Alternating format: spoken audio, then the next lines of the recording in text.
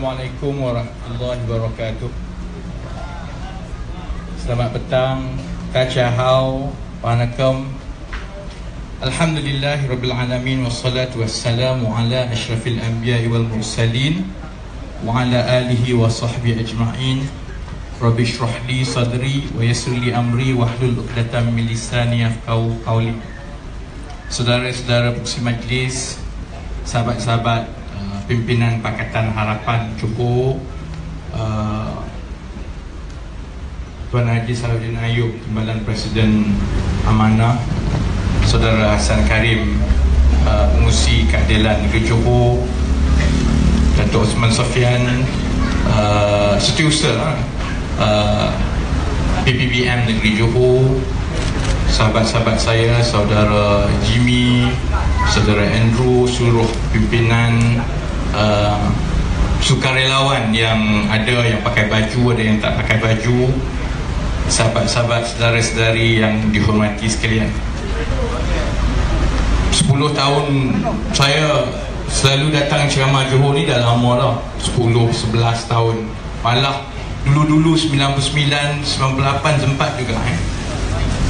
dulu Datuk 10 tahun lepas lah tu nak cerita lama ni dah. Saya datang kalau kami berceramah di Johor utara sikit lah dulu kami kena bawa PA sistem sendiri dalam kereta kerana nak cari tuan rumah dari kalangan pengundi ataupun orang Johor ni nak bagi rumah untuk jadi tuan rumah ceramah sangat susah tu. Jadi kami jadi macam penjual ubat bawa PA sistem letak dalam kereta buka sendiri cakap kalau tak kena pukul tu cukup baik. Kali ini kita datang bawa truk sekali. Ha, menunjukkan bahawa selepas 10 tahun InsyaAllah selepas 10 tahun dalam banyak-banyak negeri saya rasa negeri Johor adalah antara negeri yang paling ranum untuk kita rampas daripada UMNO bersama yeah. saya beritahu kepada sukarelawan yang menguruskan saya kata kali ini kita bawa truk kita akan round satu Johor satu Malaysia saya beritahu wartawan tadi kalau nak tahu dekat mana kerusi yang UMNO Barisan Nasional ada kemungkinan besar tumbang ikut truk ini. Sebab saya tak akan pergi tempat yang kita tak menang. Mana yang kita pergi maksudnya tempat itu insya-Allah akan jatuh kepada UMNO Barisan. Daripada kepada Cuma ada orang tanya saya kalau dah habis pilihan saya, Najib dah tak ada, kita nak buat apa dengan truk ni? Saya ada satu cadangan, ada cadangan. Dia suka saya buka food truck. InsyaAllah kita tukar jadi food truck apa dia. Kalau kita cakap food truck, kita boleh jual sayur najib dengan sayur rosmah. Lepas sayur dia dalam pilihan raya. Kangkung. Kangkung. Pilihan raya umum boleh berlaku kalau ikutnya bulan depan boleh, bulan sekali lagi boleh. Ada orang kata Oktober. Saya tak rasa Datuk Seri Najib akan panggil pilihan raya dalam 2-3 bulan. Saya tahu rakyat seluruh Malaysia, seluruh dunia ni tahu Malaysia ada macam-macam skandal. Skandal 1MDB lah, skandal Felda lah, skandal Tagong Haji lah. Semua skandal ada. Tapi nampak macam Najib tak bimbang. Kita tahu yang terbaru skandal macam-macam benda beli saya tengok semua orang tengok tapi yang paling tertarik skandal permata belian Rosmah sekarang. Rosmah kalau ikut dokumen yang difailkan di Amerika Syarikat beli satu permata belian harga dia 100 juta ringgit. Saya nak tahulah juga permata jenis apa 100 juta ringgit ni sebenarnya. Kalau nak tahu, kalau baca dalam dokumen tu kan dia ada bagi nombor dia. Ada nombor 25 kan. Yang itu sebenarnya boleh pergi ke uh, laman Rosmah sebut nama dia memang ada benda jatuh. kalau pergi ke laman dia ada institute saya nak sebut nama orang payah. Dia dia ada institute gemologi. Ah, eh. Maksudnya Institut Permata Batu-Batuan setiap permata besar yang keluar ni dia keluarkan nombor siri saya pernah lah cuba-cuba beli per, beli belian untuk bini saya nak beli jiwa lah selalu tak ada kat rumah kan? belian ni dia akan ada dia ukir nombor siri kat dalam tu setiap satu belian ni makcik dia ada nombor dia. Jadi sebab itu kalau tengok dalam dokumen di Amerika Syarikat tu dia bagi nombor siri setiap satu belian jadi kalau nak tahu besar mana belian itu kalau nak tahu bentuk dia warna dia boleh pergi ke laman Institute Gemology Amerika Syarikat boleh tengok sendiri. Saya tengok belian tu saya sendiri belian 100 juta yang Rosmah beli ni kalau ambil belian tu Balik dekat anjing mati anjing. Besar. Ha. 100 juta. Cuma saya tak nasihatkan Ambil belian tu balik kat Rosmah lah Dia sangkutkan rambut tak jadi apa-apa. Saya janji tak sentuh sangat Rosmah dengan anjing. Kenapa? Walaupun dengan semua skandal 1MDB, tabung haji, Felda Semua duit tak ada Najib nampak macam tak takut pun untuk kalah nampak macam dia tak heran lah. Tuan Mahathir ke Tan Sri Muhyiddin ke Datuk Sri Anwar ke Pakatan dia tak heran. Sebab dia tahu bahawa rakyat biasa ini terlalu tertekan untuk ambil tahu tentang skandal-skandal besar ni. Tiap-tiap hari rakyat biasa dia bising dan sibuk tentang bayar GST gaji tak cukup anak dekat universiti minta. Duit tak ada. Dia bukan tengok kita lah. Ha. jadi sebab itu Najib tahu bahawa selagi kempen kita ini bertumpu kepada skandal-skandal besar sahaja dan kita tidak mengupas bagaimana kita akan membantu rakyat biasa dia tak bimbang. Kerana yang akan mengalahkan dia bukan soal skandal yang akan mengalahkan dia ialah tiga perkara utama. Macam mana kami tahu apa tiga isu utama itu? Kerana kami dah temu ramah beratus-ratus ribu orang pengundi seluruh Malaysia. Ada tiga saja isu yang cukup membuatkan rakyat Malaysia ini marah kepada UMNO Barisan Nasional. Satu, isu kenaikan harga barang dan GST. Kami tanya 10 soalan Pasal 1MDB Pasal RUU 355 Pasal GST Pasal pelaburan Cina Yang paling tinggi ialah mengenai kenaikan harga barang dan GST Lebih 80% marah Isu yang kedua yang paling tinggi Lepas GST ialah soal gaji. Rakyat kata dia kerja macam mana pun Buat overtime macam mana pun Keluar universiti teruk pun Dia rasa dia kerja itu Tidak setimpal dengan gaji yang dia dapat. Kerana Macam mana pun dia naik Naik harga barang itu lebih tinggi Daripada gaji yang dia dapat. Kalau tanya pekerja sektor swasta Ada yang akan kata kadang-kadang 5 tahun Dia tak naik gaji. Tanya majikan Kenapa tak bagi naik gaji? Dia kata macam mana aku nak naik gaji? GST kena bayar, cukai sekarang dia kejar. Jadi kita tak ada wang. Jadi sebab itu, sama juga lebih 80% pengundi yang ditanya kata isu gaji ialah isu yang cukup penting bagi dia. Lebih penting daripada segala skandal-skandal. Dan Haji Saludin tengok kat saya, ini orang yang hidup saya ialah mendedahkan skandal. Saya nak beritahu kita kena imbangkan di antara skandal dan menjawab kenapa rakyat benci kepada UMNO Barisan Nasional. Pertama, kenaikan harga barang dan GST. Kedua, soal gaji tak naik dan tak setimpal dengan kenaikan harga barang. Dan yang ketiga, yang ini saya tak sangka langsung. Isu yang paling menyebabkan rakyat marah kepada Najib bukan permata Rosmah yang boleh balik dari dulu. Bukan soal tabung haji, bukan zanda. Dia soal lambatkan pekerja-pekerja asing yang rakyat biasa rasakan terlalu ramai sehingga telah mengambil peluang pekerjaan daripada rakyat biasa.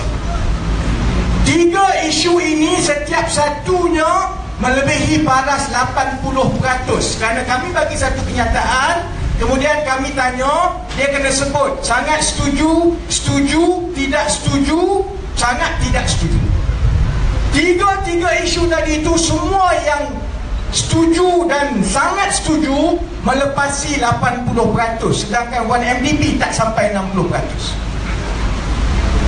Kami akan siarkan kaji selidik itu dua minggu daripada sekarang. Tapi saya beritahu dengan pasukan saya, Sebelum kita siapkan Kita kena test dulu di bawah Kalau betul isu ini penting kepada rakyat biasa Kita kena turun dan tengok sama ada Apabila kita bercakap tentang isu ini Sama ada rakyat biasa datang ke tidak. Saya bimbang ini di Johor Bahru Muka pucat Kerana saya ingat ini ada pekerja hari Pekerja kerajaan Kita mungkin dapat 50 orang.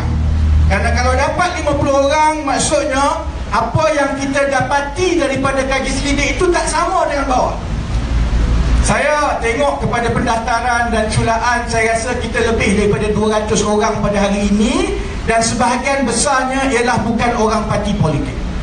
Banyak yang datang ialah orang biasa yang sebelum ini saya ada jumpa seorang cikgu tak nak sebut nama tadi dah ada. Lebih tahu dia tak? Cikgu tak pun mendaftar mundi lagi. Sangat benci kepada politik tetapi datang kerana makin sedar bahawa ada benda-benda masalah besar yang kita perlu selesaikan bersama terutamanya tiga benda ini. Sebab itu bila kami pergi dengan truk dari hari ini di Johor Bahru minggu depan di Perak, Kedah dan Pulau Pinang saya akan kurangkan daripada satu hari ke satu hari sentuh losmah dengan Najib supaya abang polis sahabat-sahabat kita tak pening kepala sangat. Kalau tidak letih dia dia nak laporan. Saya tumpu kepada tiga benda je yang rakyat nak tahu. Kita semua tahu bahawa harga barang naik GST itu kita semua tahu bahawa gaji ramai yang sekarang ini bergelumang dengan kenaikan harga barang tak mampu nak bayar. Kita juga tahu bahawa memang betul pekerja asing ramai. Cuma yang rakyat biasa nak tahu Eh sebenarnya kamu nak buat apa?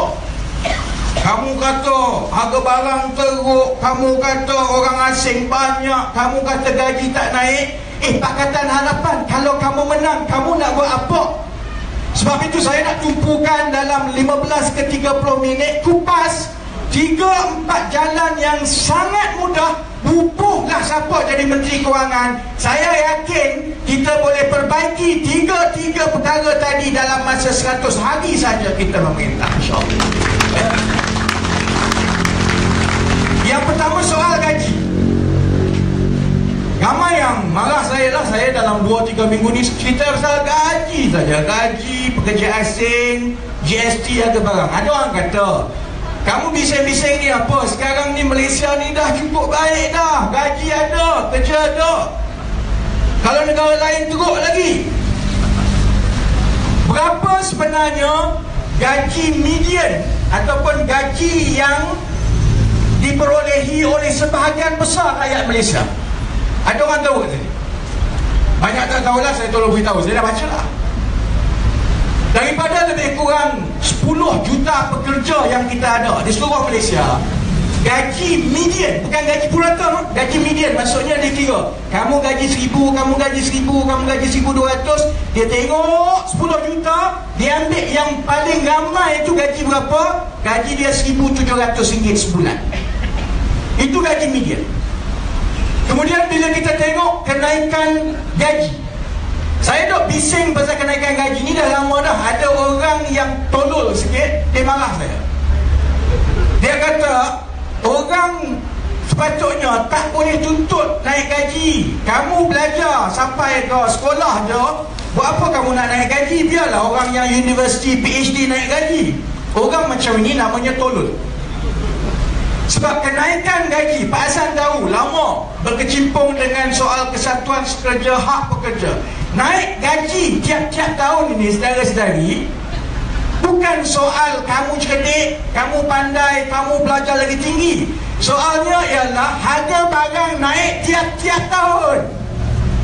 Kalau gaji tak naik, maka tiap-tiap tahun sebenarnya gaji yang kita dapat itu menjadi kurang daripada gaji sebelum tahunnya kerana Setiap tahun harga barang makin mahal Maka nilai gaji kita itu makin kurang, makin kurang, makin kurang Jadi untuk memastikan pekerja kita ini tidak jadi makin miskin Walaupun dia dah kerja lama Kenaikan gaji tahunan itu adalah diperlukan Supaya dia setimpal dengan kenaikan harga barang Berapa kenaikan gaji tahunan rakyat Malaysia? Ada orang tahu? Tanya Najib, dia pun tak tahu dia tahu berapa. Ha, Saya tak sebut. Saya janji tak nak sebut Sentuh tentang Rosmah. Dia tak payah sebut tentang Rosmah. Berapa kenaikan purata Gaji rakyat Malaysia tahun 2015 2016 Dan sekarang Unjuran 2017 Ikut perangkaan daripada Jabatan Statistik. Ini perangkaan rasmi kerajaan. Tahun 2015 naik 4% dia kata Tahun 2016 naik 5% Dia kata. Tapi saya nak tanya Kita yang kerja ni ada rasa tak Naik 4% naik 5% Saya ahli parlimen naik 100% Memang rasa lah. Naik gaji tahun lepas Naik 100% betul. Tapi orang biasa Ada rasa Naik 5% 5% 5% Bila ditanya rakyat biasa Dia kata tak ada Tak rasa.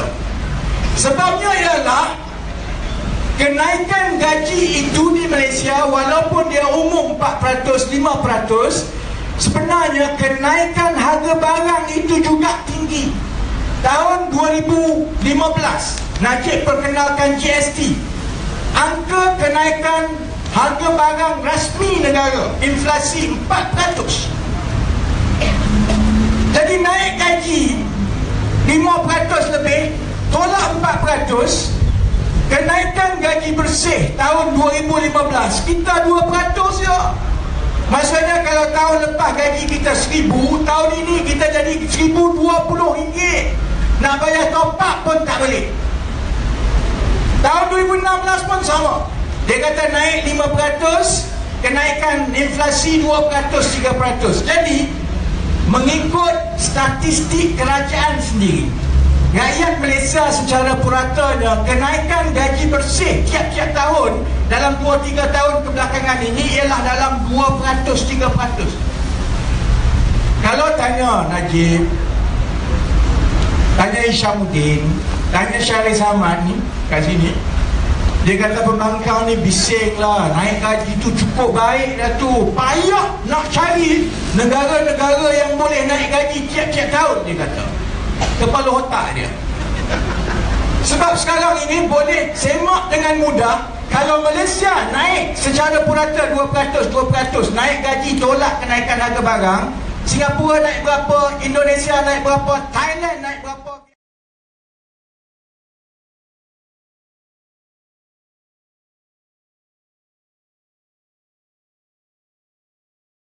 Naik berapa, China naik berapa, India naik berapa, Filipina naik berapa, Korea Selatan naik berapa, kita boleh semak. Tiap-tiap tahun ada laporan rasmi daripada satu firma perunding antarabangsa nama dia Conferry.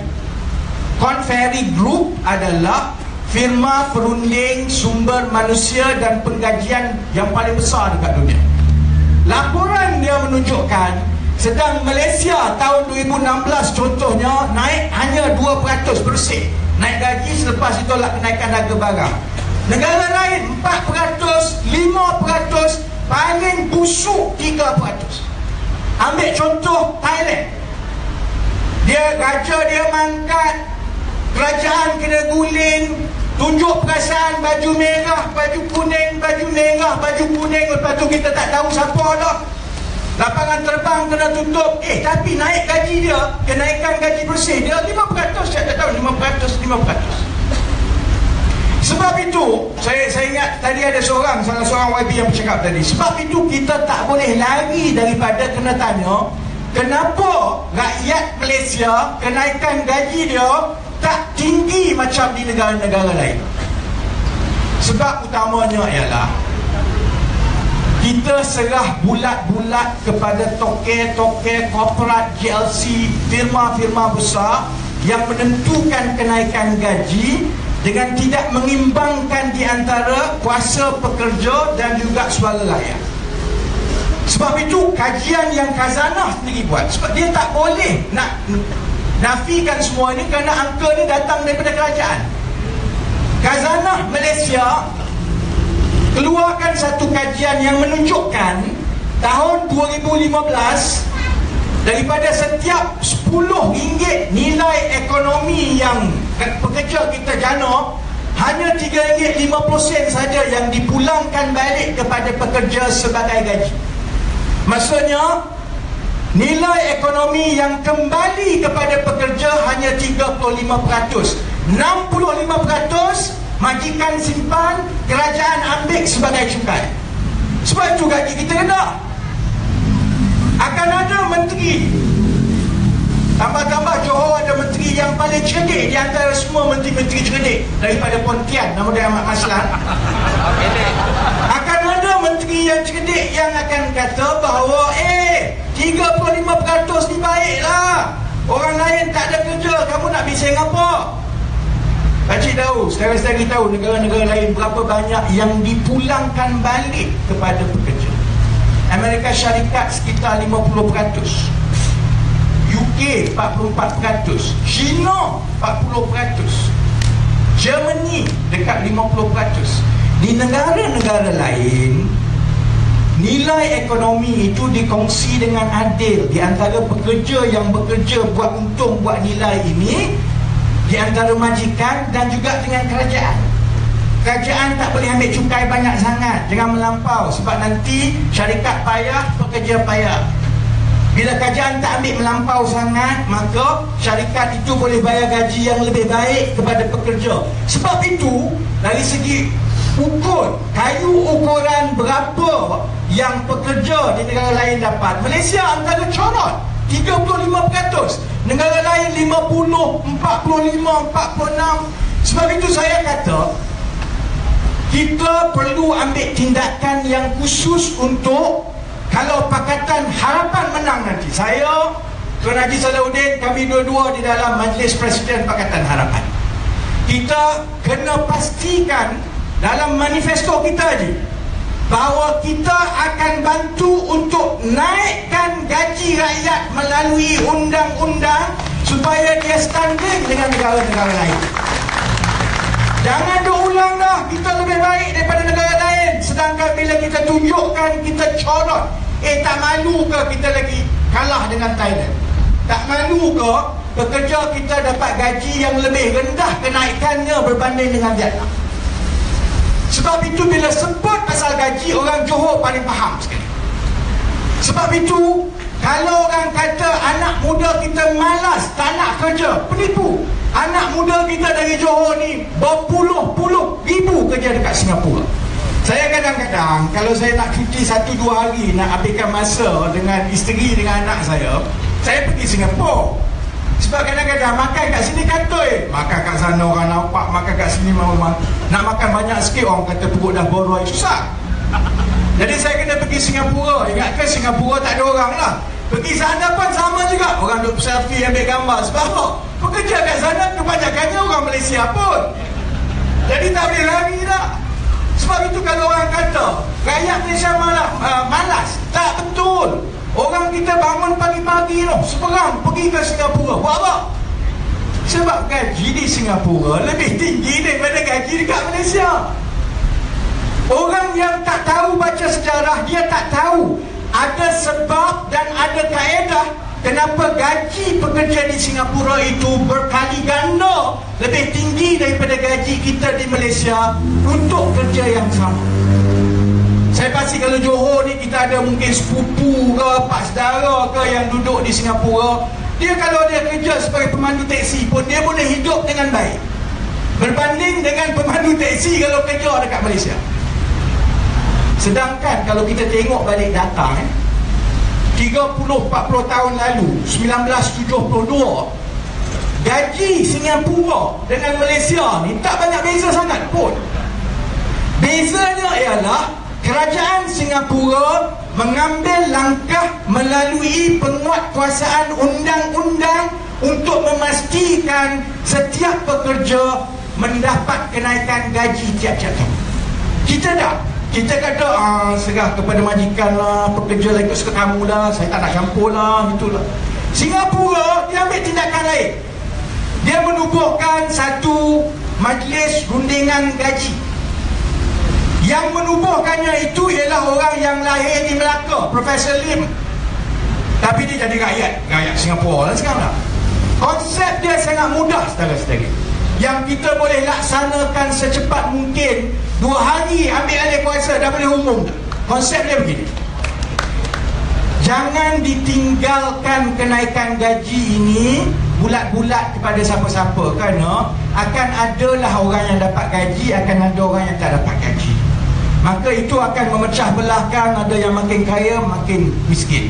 Di Singapura kerajaan Singapura seawal 1972 menetapkan tiap-tiap tahun setiap pekerja Singapura mesti mendapat kenaikan gaji yang dipersetujui secara bersama di antara majikan pekerja dengan kerajaan. Jadi dia buat satu majlis perundingan gaji. Tiap-tiap tahun pengusi ini panggil wakil. Tiga orang daripada majikan tiga orang daripada kesatuan sekerja mewakili pekerja tiga orang wakil kerajaan dia seorang masuk bilik kunci. Selagi tidak mendapat persetujuan bersama ketiga-tiga pihak berapa kenaikan gaji yang nak diumumkan tahun itu dia takkan keluar. Jadi orang Singapura dalam tahun 70-an, 80-an, 90-an dia menunggu pengumuman kenaikan gaji ni macam kita orang Melayu tunggu penyimpan mohon besar sebut bila nak kaya. Sebab ini kenaikan gaji. Sebab itu apabila dilaksanakan melalui undang-undang dan dipersetujui secara bersama tiap-tiap tahun mesti ada kenaikan gaji 2%, 4%, 5% dan oleh kerana semua majikan tertakluk kepada undang-undang itu majikan kena bayar. Dia tak boleh nak kata eh saya tak nak bayar bisnes saya teruk tahun ini. Kerana undang-undang menetapkan kamu kena bayar. Baik. Akan ada orang kata kamu buat sendirilah bisnes saya mesti. Bankrupt punya kalau buat macam itu. Saya sekarang invoke ada kaki tangan tetap 80 orang tiap-tiap bulan. Saya kena bayar gaji kepada kaki tangan ibu RM240,000 sebulan tiap-tiap bulan. Saya tahu seksanya membayar gaji pekerja tapi melalui satu suruhanjaya yang kita boleh buat yang mengikat pekerja majikan dengan kerajaan ketiga-tiga pihak ini boleh bertolak ansur untuk memastikan tiap-tiap tahun mesti ada kenaikan gaji. Saya beri contoh. Tahun ini untung banyak Maka pekerja kata, eh untung banyak, ekonomi baik, bagilah kami 4% naik. Semua pekerja dapat 4% kenaikan gaji wajib. Mana yang prestasi lebih baik, dapat bonus tinggi lagi. Tapi semua dapat 4%. Tahun depan, bisnes tak elok. Maka syarikat kata, majikan kata, kalau saya nak bagi 4% juga, nanti ada orang kena buang kerja. Sebab duit tak ada ni, untung tak ada. Maka majikan kata Pekerja pun kata tak apalah kami faham. Bisnes tak elok Tahun ini kami bersetuju dengan 2% Maka 2% dapat. Diumum Penyimpan mohon besar gaji kata Tahun ini Maka setelah dipersetujui Kenaikan gaji pekerja-pekerja Malaysia Ialah 2% Semua dapat 2% Tahun ketiga Contohnya Semua tak elok. Ekonomi makin teruk Bisnes makin teruk Untung pun tidak masuk dalam rundingan masa itu majikan kata saya pun tak boleh bagi dah. Pekerja kata tapi kalau tak bagi teruk lah keadaan makin teruk orang tak naik gaji. Maka kerajaan akan kata tak apa tahun ini oleh kerana bisnes tak elok oleh kerana pekerja pun tahun lepas dah berkorban Tahun ini kerajaan bagi peruntukan untuk kamu ambil bayar gaji kepada pekerja supaya pekerja akan tetap dapat kenaikan gaji walaupun keadaan gawat ekonomi. Sebab itu di negara macam Singapura yang mana kenaikan gaji dikuatkuasakan melalui suruhanjaya dan undang-undang dia dapat pastikan tiap-tiap tahun ada saja kenaikan gaji 3%, 5%, 5%, maka dengan cara itu maka selepas 40 tahun sebab itu pekerja Singapura jauh lebih tinggi gajinya daripada kita untuk satu kerja yang sama. Buat kat Malaysia gaji dia lain buat kat Singapura gaji dia lain. Sebab itu Tuan Haji Salahuddin dengan saya kita ada bersama ni orang JB saya akan bawa dan bentang dan cuba yakinkan Majlis Presiden Pakatan Harapan kalau kita menang dalam manifesto kita kita akan kuat kuasakan kenaikan gaji wajib melalui rundingan bersama di antara majikan kerajaan dan pekerja supaya kita dapat naikkan gaji tiap-tiap tahun supaya tak kisah kamu kerja apa syarikat swasta ke syarikat awam ke kenaikan gaji mesti berlaku supaya tidak ada orang yang naik gaji dia itu tidak setimpal dengan harga barang. insyaAllah. Baik. Bapak saya telah berjaya bagi ucapan selama 10 minit tanpa sebut Rosmah itu pencapaian yang terbaru. Yang kedua kita cerita pasal gaji kita cerita pasal kenaikan harga barang ni kan sebab itu yang kedua Selepas kita dah kuat kuasakan kenaikan gaji secara undang-undang Dia akan berlaku Kita kena kawal pula kenaikan harga barang. Ada orang tanya saya Kata dulu YB kata kalau turun harga minyak Maka harga barang turun. Ini harga barang ni dia kata tak ada kena mengena dengan kerajaan. Apa nak marah Rosmah dengan Najib pula ini ialah kerana peniaga China dengan India yang ambil untung berlebihan, dia bolot. Kalau nak suruh turun harga barang, pergi marah orang China, pergi marah orang India, dia kata. Kalau tengok, sejak Datuk Seri Najib menjadi Perdana Menteri tahun 2009, musuh dia yang paling utama bukan Anwar Ibrahim, bukan pembangkang, bukan Tun Mahathir lagi pun, 2009, musuh dia nombor satu apa dia? Subsidi. Dia paling musuh sekali subsidi. Dia naik saja 2009 antara pengumuman dia yang paling utama ialah dia akan mansuhkan semua subsidi. Sebab itu sejak 2009 sampai sekarang saya nak tanya subsidi apa yang masih lagi kekal? Ada subsidi yang masih lagi ada? Subsidi semua dah kena hapus. Subsidi minyak kena hapus. Subsidi elektrik kena hapus Subsidi gandum kena hapus. Subsidi minyak masak kena hapus. Subsidi apa lagi? Subsidi gula kena hapus. Jadi pemata.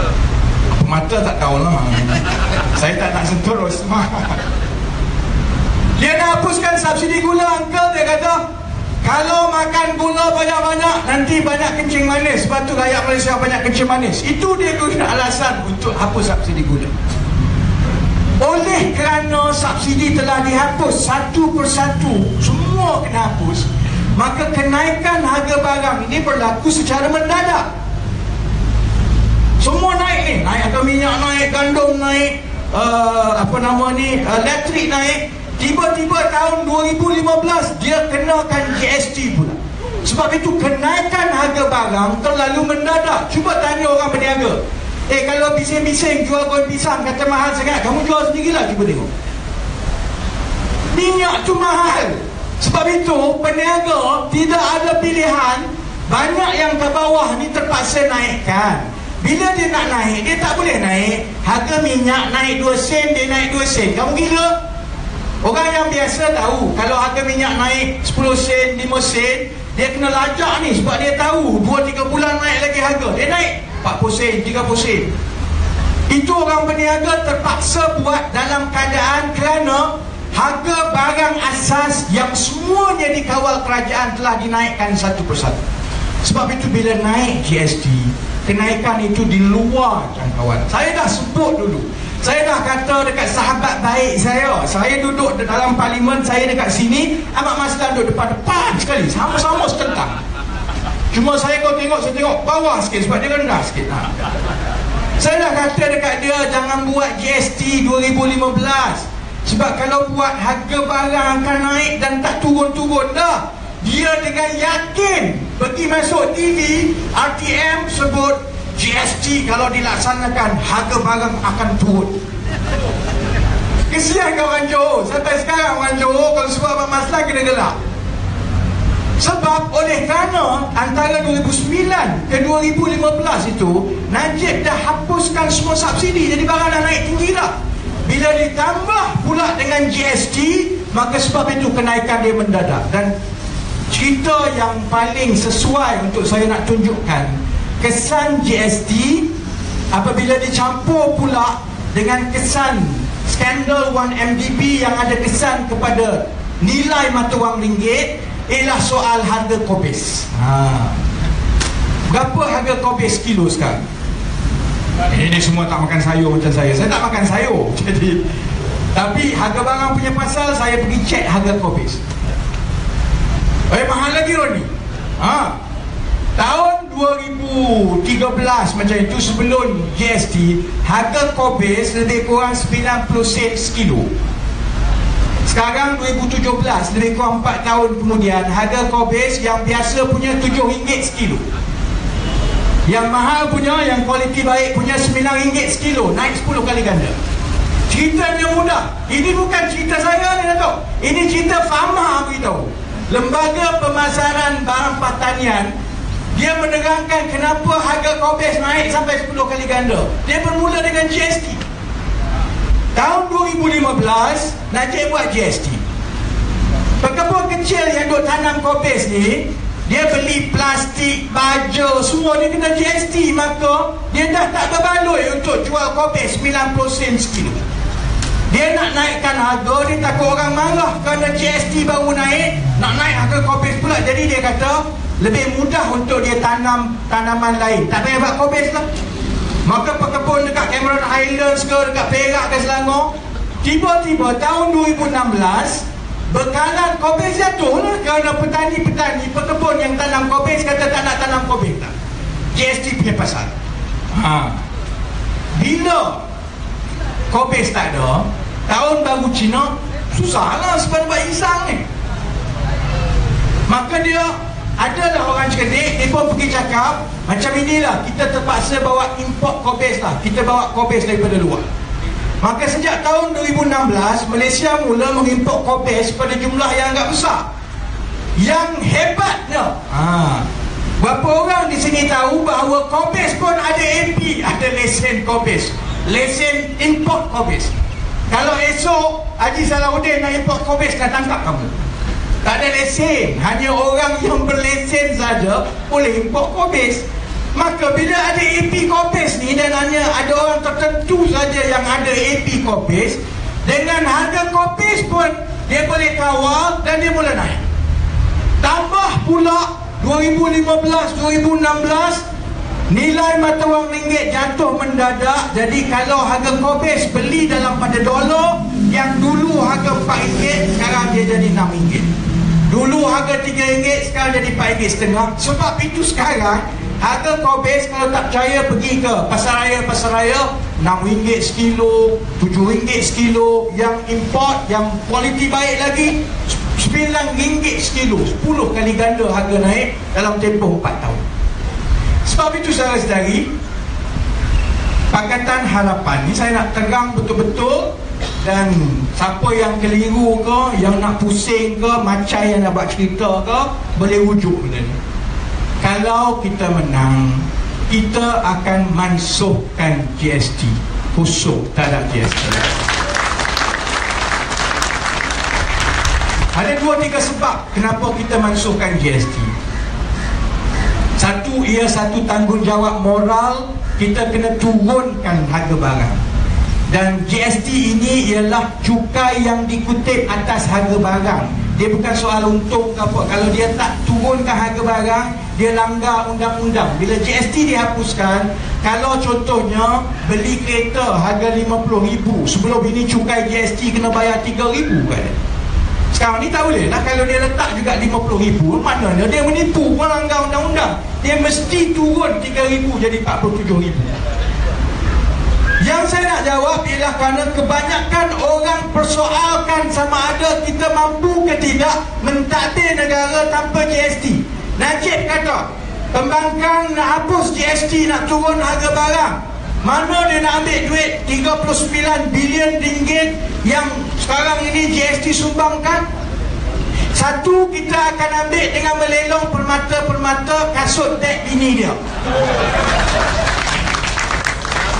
Tapi yang lain-lain tu saya boleh tunjukkan dengan mudah macam mana nak dapat 39 bilion tiga cara. Pertama, kalau sahabat-sahabat baca tiap-tiap tahun dalam laporan ketua audit negara memang ada, mesti ada bocor sana lah. Yang patut pelihara lembu bagi 250 juta lembu tak ke mana kondo banyak KL ada Singapura ada. Lembu tak ke mana saya yang masuk ke dalam iaitu 250 juta projek Zelda. Habis 150 juta untuk tanam. Tanam pula pelihara ikan sturgeon. Saya masa tu saya tak ambil pot sangat. Lah lah dia nak biarlah dia ikan. Tapi bila saya baca laporan ketua di negara tu Gelak pun ada, nak menangis pun ada. Pakcik tahu kenapa gilanya habis 150 juta ringgit untuk Felda pelihara ikan sturgeon Ikan itu diharamkan masuk ke Malaysia. Maksudnya gila ke apa? Yang lembaga pengarah menteri yang tengok kertas cadangan nak belanja 150 juta ni ikan ni nak import daripada luar negara. Tanya kepada immigration tanya kepada jabatan uh, hilitan perikanan semua dia kata ikan ni tak boleh masuk sebab kalau dia masuk dia makan semua ikan-ikan kita. 150 juta lembu pun dapat ikan pun dapat kita ada yang terlopong sampai sekarang. Sebab itu kalau tengok laporan ketua audit negara tiap-tiap tahun dan kami dah buat kajian secara statistik kajian akademik kita menganggarkan jumlah peratus ketirisan daripada perbelanjaan kajian ialah 15 peratus. Tahun 2017 perbelanjaan kerajaan yang bukan gaji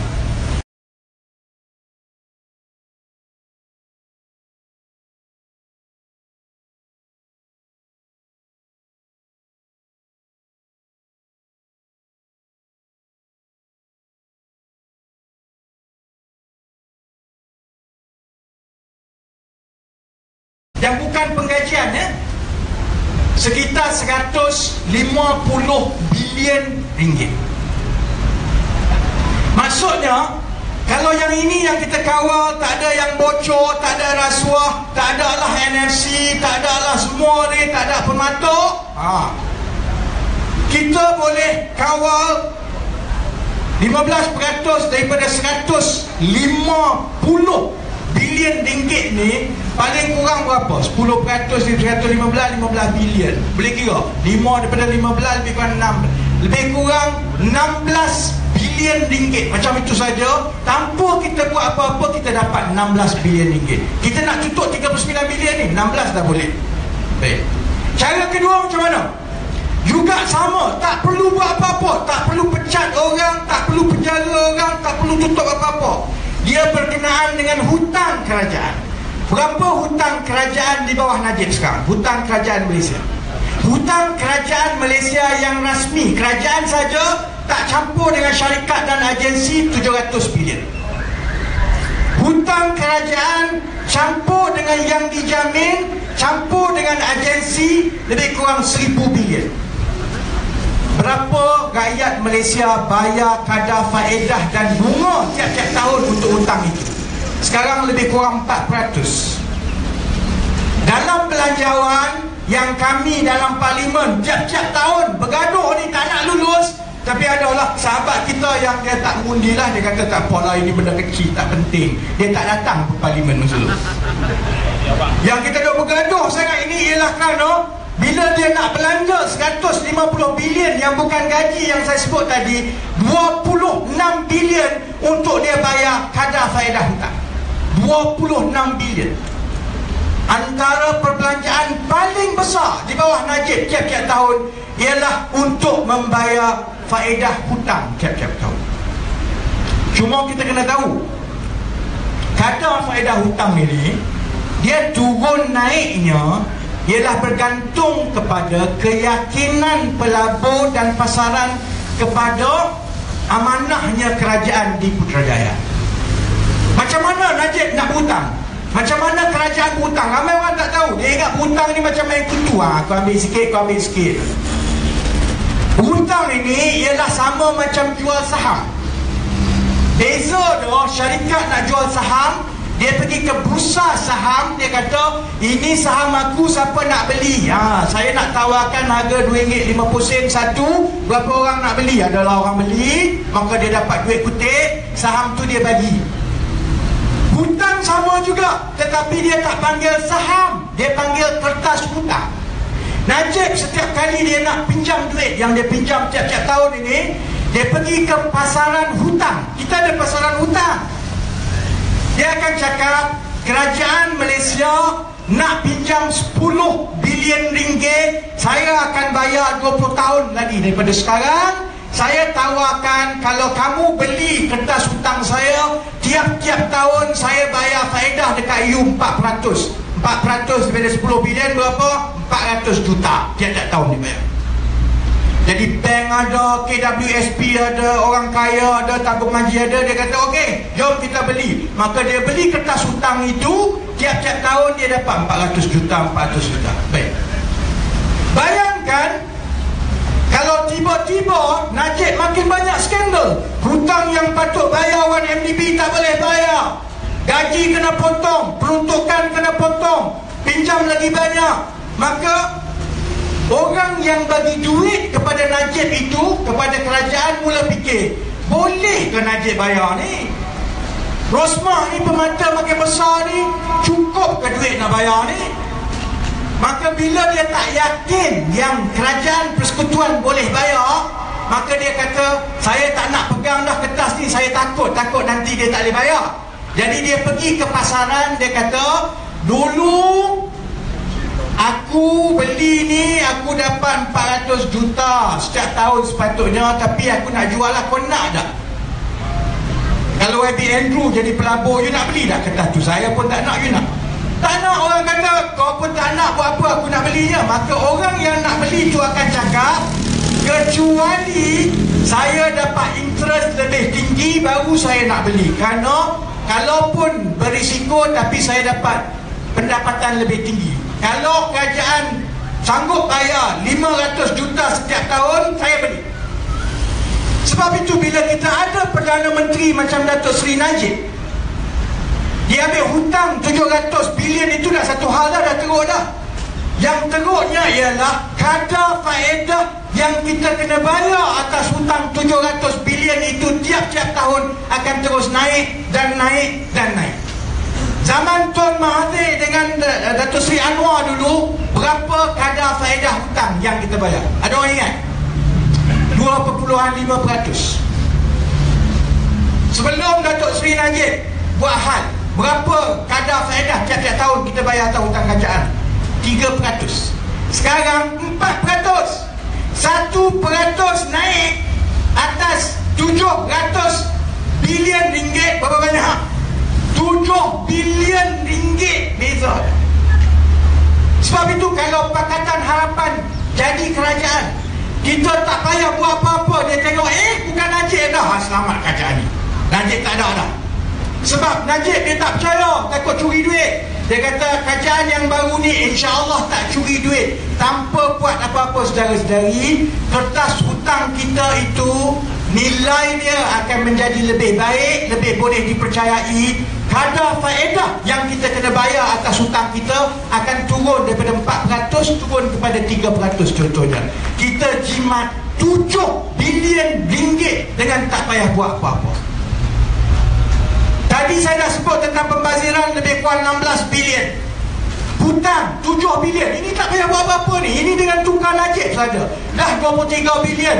Kita ada lebih kurang 16 bilion lagi yang kita kena tutup sebab itu Pakatan Harapan dalam perbelan dalam belanjawan yang kita bentangkan tahun-tahun lepas kita janji untuk perkenalkan satu cukai baru. Kita hapus cukai GST yang semua orang kena bayar. Kita ganti dengan cukai atas keuntungan saham yang hanya orang-orang kaya saja bayar.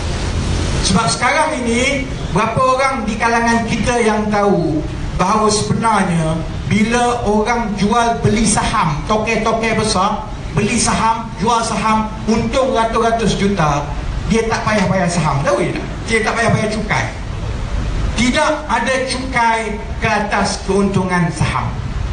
Tahun lalu saya buat bising adik kepada Datuk Seri Hishamuddin Hussein jual saham dalam tempoh 2 bulan dia dapat sekitar 60 juta ringgit sebab dia main saham dengan EcoWest dengan KWSP.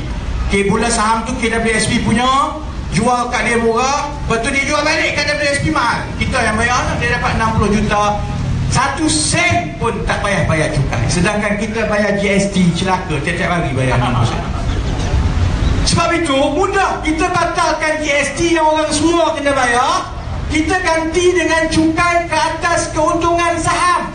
Eh dah kamu kaya saham ratus-ratus juta dah untung kamu bayar lah yang susah, yang tak ada gaji, yang cacat, yang bekerja yang kutip cukai GST daripada yang ini buat apa? Sebab itu kalau kita kenakan cukai ke atas keuntungan saham kita boleh dapat 5 ke 10 bilion itu boleh dapat dengan mudah bergantung kepada berapa baiknya ekonomi tahun itu. Kita kena kembalikan cukai jualan supaya cukai hanya dikenakan di peringkat kilang kepada barang-barang mewah sahaja. Bila kita buat empat-empat perkara ini InsyaAllah saudara-saudari Kita akan dapat balik ke semua 39 bilion ringgit Sumber pendapatan kerajaan sekarang Tanpa kita kutip GST Maknanya Harga barang turun Rakyat tak terkesan Tetapi kita tetap ada wang Untuk kita belanjakan kepada rakyat Termasuklah Untuk buat peruntukan untuk bayar kenaikan gaji dalam keadaan tahun-tahun yang tak baik. Dua benda. Saya tinggal perkara ketiga saja. Dua tengok jam, lima minit lagi. Perkara ketiga yang dikira masalah paling besar untuk rakyat kita ialah lambakan pekerja asing. Saya nak tanya orang Johor, Johor ni JP, Pasir Gudang, Tebrau, kawasan ini Ini kita majmuk Melayu ada, Cina ada India ada Bangladesh pun banyak juga macam-macam ada. Saya nak tanya. Rakyat kumpulan rakyat paling besar dalam Malaysia, Melayu Bumi Putra, betul tak? Setuju tak? Nombor dua, kumpulan rakyat nombor dua paling besar di Malaysia, orang Cina. Setuju ke tidak? Nombor tiga, kumpulan rakyat yang paling besar selepas Melayu, Cina adalah India. Setuju ke tidak? Tak betul. Siapa setuju salah? Ha. Sahabat-sahabat kita orang India, sahabat Sing. Sedari-sedari tahu, sekarang ini kumpulan ketiga paling besar dalam negara kita bukan orang India. Ia adalah orang-orang CIMB yang yang nak saya CIMB ni ha, pada Indonesia, Myanmar, Bangladesh, Vietnam, semualah lah campur semua pekerja asing dekat Malaysia sekarang sudah pun menggantikan rakyat Malaysia yang berbangsa India sebagai kumpulan nombor tiga paling besar dekat Malaysia. Kalau ikut perangkaan kerajaan sendiri, bukan saya kata, ini Kementerian Pembangunan Wanita dan Keluarga. Dengan kadar pertambahan yang ada sekarang, kalau tidak berubah, tahun 2034, Orang yang kumpulan nombor dua paling ramai di Malaysia bukan lagi orang Cina tetapi orang asing, pekerja-pekerja asing.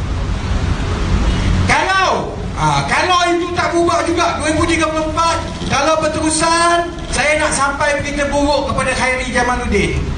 Dia sekarang sibuk turun TN50 Dia ingat dia boleh jadi Perdana Menteri tahun 2050 Tu dia dah. Dia tengah kumpul ni. Macam mana dia nak jadi Perdana Menteri nanti Malaysia macam mana? Saya nak beritahu Khairi 2050 Mungkin Perdana Menterinya Bangladesh Bukan kau Kalau 2034 Orang pekerja asing dah melepasi orang Cina dah jadi orang nombor dua Saya yakinlah 2050 Orang Melayu pun tak boleh lawan dah dengan Bangladesh Myanmar, Indonesia, Vietnam Apa lagi ni? Nepal, semua Sebab itu saya sekali Saya nak, saya nak simpulkan begini ya. Kita tidak bermusuh dengan pekerja asing Mereka juga jadi mangsa macam kita. Orang Bangladesh Dia nak datang sini Dia kena jual tanah Berhutang Kepada ejen Masuk ke sini kemudian dia ditempatkan satu ruang pejabat 20 orang duduk. Yang itulah makan minum kerja daripada pagi sampai ke malam. Dia cari rezeki. Kita tak ada masalah dengan itu yang kita ada masalah ialah orang-orang dalam masyarakat kita yang diberi kuasa dan amanah untuk menjaga soal keluar masuk pekerja asing ini dengan adil dan dengan baik tetapi mengambil kesempatan atas itu untuk buat wang. Kerana kita tahu setiap seorang yang masuk itu permitnya mahal. Kita tahu setiap seorang pekerja asing yang masuk undang-undang menetapkan kena pergi kepada satu syarikat saja untuk pemeriksaan kesihatan. Bayar ribu-ribu. Kalau satu tahun ada ratus ribu pergi syarikat itu dia dapat berbilion-bilion ringgit makan atas hari oleh kerana soal kemasukan pekerja asing ini telah menjadi satu lubuk wang kepada orang-orang besar kroni maka dia berlumba-lumba untuk membawa masuk seberapa ramai pekerja asing sehingga akan hilang kawalan. Sekarang ini pekerja asing lebih ramai daripada orang India. 15 tahun lagi lebih ramai daripada orang Cina masa Khairi nak jadi Perdana Menteri lebih ramai daripada Melayu sebab itu saya kata kita tidak ada pilihan lain. Kita kena mula sekarang tukar undang-undang tukar peraturan kita kena ada jadual untuk hantar balik dan kurangkan pekerja asing yang ada sekarang. Berapa orang pekerja asing yang ada kat Malaysia sekarang? Yang berdaftar 2.5 juta. Yang tak berdaftar 4 juta. Pekerja asing ada 6.5 juta orang kalau kita tak mula hantar sekarang Sebab itu 15 tahun lagi dia mengalahkan orang Cina. Kita kena ada jadual Setiap tahun contohnya Ikut undang-undang Kementerian Dalam Negeri. Saya nak tanya Boleh ke tidak Pekerja asing menjadi pelayan di restoran? Mamak ke Restoran tak mamak ke Boleh ke tidak?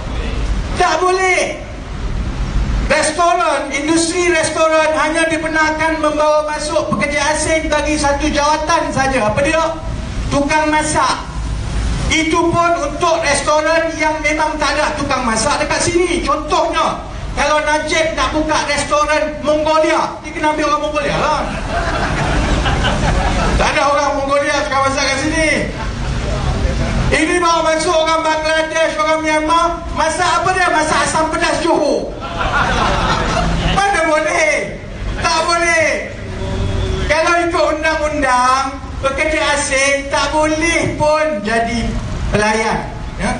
Waitress ni tak boleh Dia hanya boleh dibenarkan Untuk jadi tukang masak yang khusus itu saja Tapi kita pergi tengok mana-mana lah Saya orang Terengganu Orang Terengganu ni hampir 100% Melayu lah. Nak jumpa Cina, India pun tak banyak. Tak ada jumpa banyak di Bangladesh. Ha. Sana dia sebab apa? Kerana yang jaga undang-undang dan peraturan yang sepatutnya tak benarkan mereka dibawa masuk dia ke bawah pun ada, ke tepi pun ada, ke atas pun ada masuk terus dalam tank pun ada sebab itu kita kena buat peraturan dan ada jadual kita ada 15 tahun untuk mengurangkan pekerja asing. Kalau tidak ha, ni yang yang dah tua-tua tak terasa sangat ni. Saya anak saya umur 4 tahun. Saya adalah kawan-kawan yang anak dah umur 7 tahun 8 tahun ni dah. Sekarang ni pun sahabat-sahabat saya nak cerita pasal di sekolah nombor satu anak Indonesia nombor dua anak Indonesia nombor nombor tiga anak dia nombor empat anak Indonesia kelas yang paling atas tu kalau darjah 5 darjah 6 separuh anak orang Indonesia. Contoh. Itu sekarang. Bayangkan 15 tahun lagi. Kita akan berdepan dengan masalah yang sangat suka ditangani kerana bila kita ramai ada anak pendatang asing anak pekerja asing kita tak boleh berlaku zalim dengan dia. Dia kena pergi sekolah dia kena pergi ke hospital. Pada masa yang sama kita tidak cukup wang nak bagi sekolah percuma ke anak kita pun tak mampu. Macam mana kita nak tampung sebegitu ramai anak orang asing di sekolah dan juga hospital kita? Sebab itu kita kena ada jadual yang khusus untuk kita mula hantar mereka balik. Saya dah kira kalau kita nak pastikan trend ini berhenti menjelang tahun 2035 kita kena sasarkan hanya ada 500 ribu orang pekerja asing dan pekerja asing ini ialah yang betul-betul tumpu kepada dia ada kepakaran. Contohnya Najib nak naik jet pergi ke bulan dia tak boleh nak buat jet. Tak apalah ambil pekerja asing. Ambil pekerja asing suruh masak asam pedas dekat restoran Melayu kat Johor tak boleh. Jadi sebab itu perkara ketiga yang saya dan Tuan Haji Salahuddin kita kena bawa perkara ini ialah kita kena ada janji yang jelas. Pakatan Harapan menang kita ada rancangan dan jadual khusus untuk menghantar balik pekerja asing dan mengulangkan pekerja asing supaya kerja yang sepatutnya boleh dibuat oleh rakyat tempatan diisi oleh rakyat tempatan. Saya nak jawab yang akhir sekali lah. Akan ada macam yang kata rakyat kita pemalas. Bukannya tak ada kerja ada tapi rakyat kita tak nak. Kamu bayar gaji dia untuk dia hidup duduk dalam 20 orang satu bangunan. Kamu tawar gaji kepada pekerja kita anak kita, adik kita supaya gaji itu dia hanya mampu untuk hidup seperti seorang pekerja asing yang nasib dia tak terbela kat sini. Memanglah dia tak nak dia ada motor nak kena bayar. Dia kena bayar sewa. Dia nak kahwin. Anak dia nak pergi sekolah. Kamu suruh dia buat kerja petik sampah tapi kamu bayar dia supaya dia hidup dalam rumah kongsi 20 orang. Tak boleh. Sebab itu untuk kita pastikan orang kita mula buat balik kerja yang sepatutnya rakyat kita buat ini kita kena gabungkan menaikkan gaji mengikut undang-undang yang saya sebut tadi dengan mengurangkan pekerja asing. Bila kerja-kerja ini sudah menarik gaji yang baik maka sudah tentulah rakyat Malaysia pun nak buat. Daripada menganggur tak ada kerja takkan nak ikut Ahmad Maslan dia kata Ahmad Maslan kata apa bising-bising?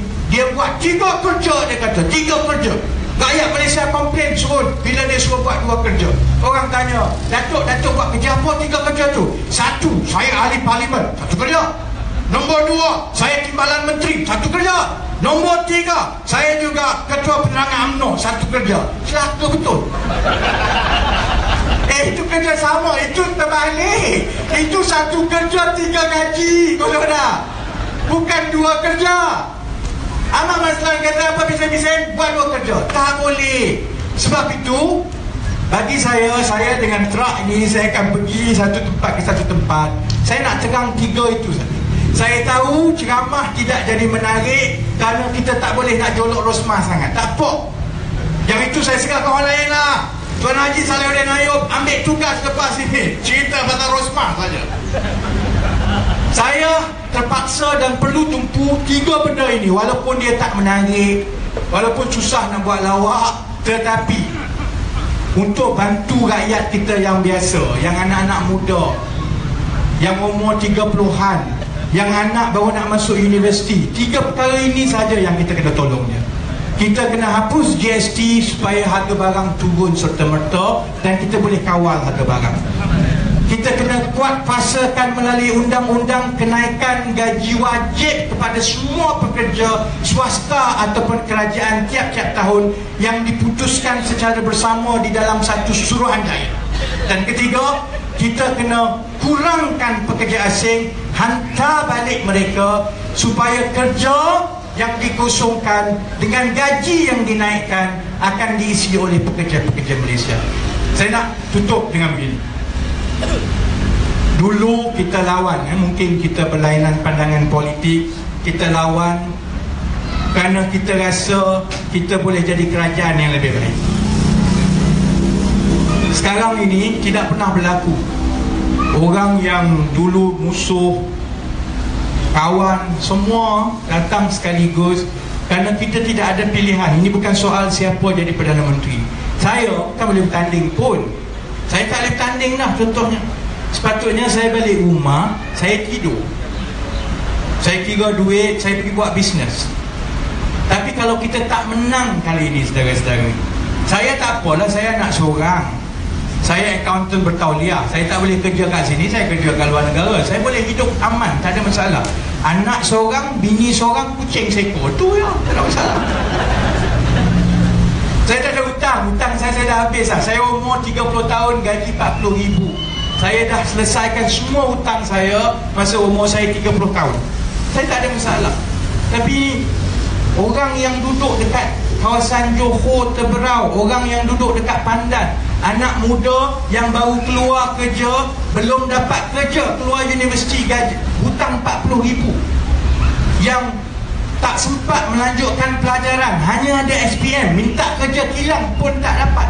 Apa nak jadi dengan mereka? Sebab itu saya orang tanya saya kata YB dulu serang Tuan Mahathir. Sekarang boleh duduk sekali. Dia bukan soal serang duduk. Soalnya kita ada masalah masalah kepentingan yang lebih tinggi daripada perbezaan kita. Masalah kita ialah ni yang kecil-kecil muda-muda ni 10-15 tahun lagi dia nak buat apa? Najib tak ada lah masa tu. Rosmah pun tak ada lah. Mereka akan tetap ada. Mereka kena warisi hutang kerajaan. Mereka warisi hutang kita. Mereka warisi hutang mereka. Saya tak mau kena maki hamun dengan budak-budak generasi akan datang. Kerana saya ahli parlimen pimpinan masa ini ambil jalan mudah tidak mencuba yang sebaiknya untuk tewaskan Najib dan Rosman sebab itu saya minta akhir sekali sebelum hujan. Ha. saya rasa pilihan raya dia takkan panggil sehingga tahun depan. Kerana keadaan ekonomi sangat-sangat tidak mengizinkan. Kalau berani Najib kau panggil Najib. Kalau berani sila saya saya tak rasa dia berani sebab dia tahu apa yang kami tahu. Dia tahu 70% rakyat tak puas hati dengan keadaan ekonomi sekarang. Jadi dia tak panggil. Maksudnya saudara-saudari, adik kakak, uncle, auntie semua ada satu peluang untuk kita semua sama-sama tolong semua Kali ini Cina, Melayu, India, Iban, Kadazan, Islam ke Kristian, Buddha, Hindu, Sikh kita kena fikir pasal anak kita sebab kita dah hidup. Yang muda ini kena pikul yang lebih berat. Kita ada satu pilihan saja. Kita kena bekerja jangan serah kepada orang politik saja. Orang politik kena bincang sama kita cari jalan yang terbaik. Tapi rakyat di bawah jangan serah kepada orang politik saja tak jadi kerja. Sedara-sedari kena datang Siapa yang boleh bagi 5 jam sehari? Bagi 5 jam sehari Siapa yang boleh bantu 2 jam seminggu Bantu 2 jam seminggu. Siapa yang boleh bagi duit Boleh bagi duit Boleh bantu. Siapa yang macam tadi Saya tak nak sebut nama Sebab dia belajar lagi Dia bantu kita dengan cara apa? Dia ikut terak Berhenti mana-mana dia akan nyanyi. Sebab dia boleh nyanyi. Selagi-selagi boleh nyanyi. Bila rakyat kita tahu bahawa tanggungjawab untuk bina semula negara bukan tanggungjawab Tuan Mahathir. Bukan tanggungjawab Anwar sahaja. Bukan tanggungjawab Tuan Haji Salahuddin Ayub sahaja. Ini tanggungjawab semua rakyat Malaysia. Maka saya yakin Najib kalau kau berani kau panggil pilihan raya sekarang kita akan menang dan menang saja. Saya minta inspektor-inspektor semua tolong ikut. Kita pergi jemput Najib kita hantar dia ke Hotel Sungai Buloh InsyaAllah. Terima kasih banyak-banyak. Kami akan bergerak Daripada sini. Kami akan bergerak ke Perak. Minggu depan saya singgah di Tanjung Malim Di Padang Rengas, di Tambun Kemudian di Sungai Petani Di Balik Pulau dan Bagan Serai Saya kembali ke Johor Utara Dua minggu daripada sekarang. Sepakan seberapa ramai Dan sebelum saya habis Saya minta semua yang ada Boleh datang ke depan Untuk pegang plekat Untuk kita ambil gambar untuk kita tunjukkan kepada rakyat Malaysia kita nak tiga perkara ini. Pertama mansuh GST kawal harga barang kedua naikkan gaji mengikut undang-undang. Dan yang ketiga kurangkan pekerja asing. Terima kasih Setse, Nandri Manakam Assalamualaikum warahmatullahi wabarakatuh. Kita minta